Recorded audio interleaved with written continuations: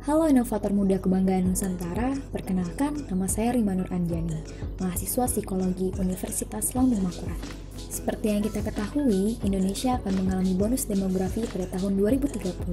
Salah satu hal untuk menyambut bonus demografi tersebut adalah dengan meningkatkan kualitas pendidikan. Sedangkan kualitas pendidikan Indonesia saat ini belum bisa dikatakan baik. Era revolusi industri 4.0 membuka mata kita bahwa pendidikan kini tidak hanya terpaku pada pendidikan formal, tetapi juga pendidikan non-formal. Saya menggagas sebuah proyek yang saya beri nama Ruang Positif, sebuah wadah pendidikan non-formal yang mengusung konsep ruang tanpa stereotip dan terbuka untuk semua kalangan, terlebih untuk mereka yang putus sekolah dan penyandang disabilitas.